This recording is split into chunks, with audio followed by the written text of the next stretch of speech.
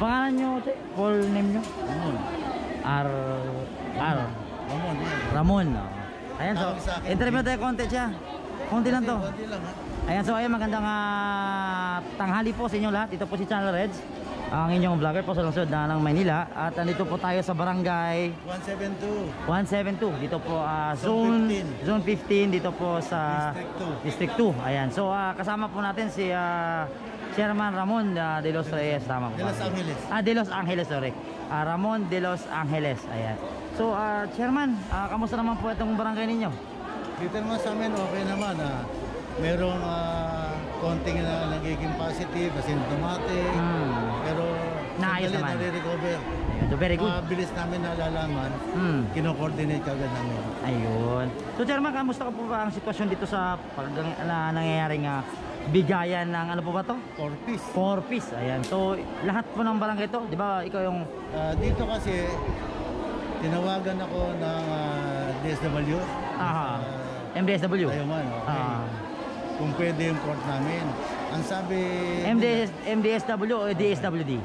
DSWD dito sa Tayuman. Tayuman. Okay. Oh. Ngayon, ang sabi, kung pwede, yung barangay lang namin, saka sa 176, Hmm. sa zona 15. Hmm. Plus, zone 16, zone 17, Opo. at may konting zone 18.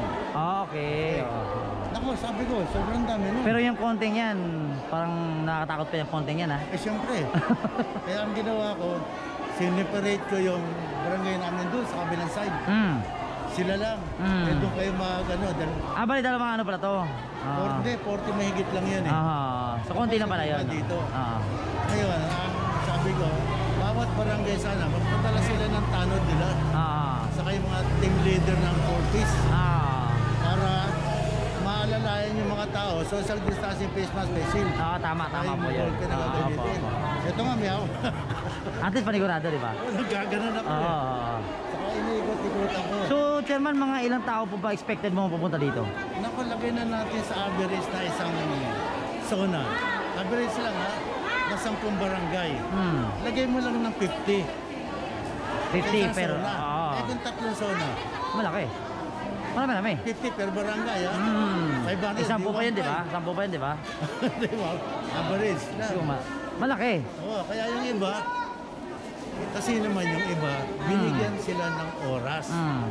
At pecha. Dahil meron pa ito bukas eh. Hmm. So, binigyan sila ng schedule.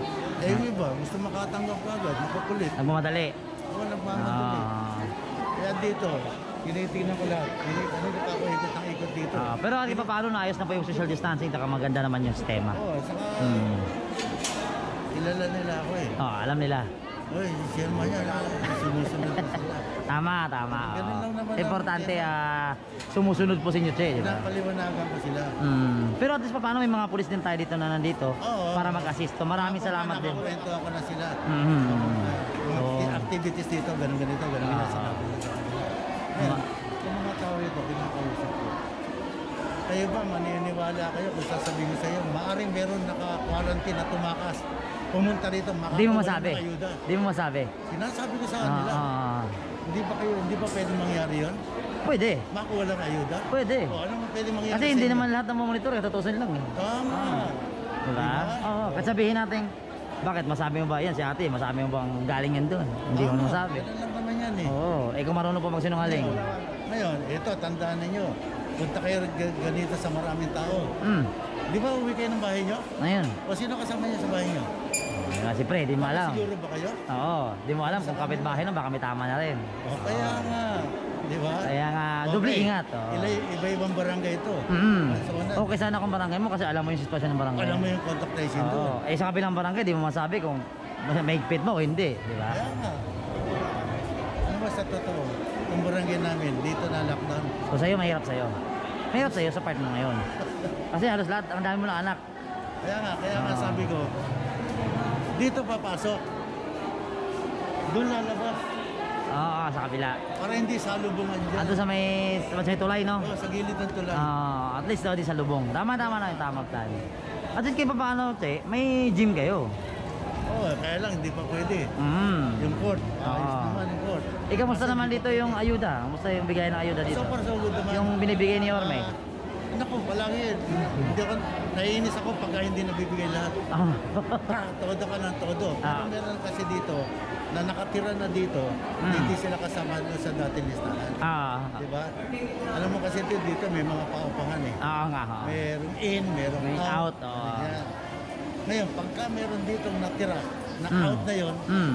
ah, hanapin ko na kung sino gusto kong bigyan na Tama, wala doon sa listahan. At least nabigyan, di ba? Ng maayos. Pero kadalasan, Mm. binibigay ko yan doon sa... So bali ngayon, Joe, wala kang kasama ditong iba na tanod? O meron, kumukulo? yan. Kagawa dyan. Ito, ano Hindi, to. ibang barangay. May nagkasis naman. Meron lang dito sa Barangay 176. Ah, yun, oo. Oo. Doon sa Taga 176. Ayun, Actually, magkakilala kami ni Chairman LB ko. Oh, kasi, Galing din ako sa barangay 166 kanina. Kasi may bigayan doon, saka sa 169. Okay. Mm, so, napadaan ho kami dito kanina. Padaan ho ako. Eh, sa labas ho, medyo, ayan, sabi ko nga. Kasi dito sa Zona 15, ito lang covered court dito. Mm, ito lang, ito lang. 15, ah. Ah, ito lang. ito lang. Ito nagiging evacuation center nyo rin if in case na may problema. Pag evacuation, ito Mm, rin. ginagamit nyo rin. So, ayan, ah, bago man matapos itong ating ah, kwentuhan, ah, Chairman, ah, may ah, mensahe ka ba sa ating ah, mahal na Yorme? Ay, nako. Sobrang-sobrang pasasalamat kay Yorme sa kay Vice Sunny Lacuna. Tapos sa totoo lang, meron salita si Mayor na na-adapt ko. Mm, ano yan? Yung sinabi niya, manungkulan kayo ng higit pa sa obligasyon nyo. Oh, ta- Dahil sabi yung ang katungkulan mo ito, higitan Ah. nyo pa. mm. So, maski na personal, maski pa sarili mo kakayanan. Hanggat, hanggat, hanggat kaya mo. Oo, Tama. oh. Kung hindi mo pa kaya, kung kaya pa naman gumawa pa ng paraan, di ba? Bakit Siyempre, hindi? ganun lang. So, ganun po yung sistema. Ayan, ah, Saka ganda ng linya mo. Kaya Mm. lubos ang pasasalamat ko kay Mayor.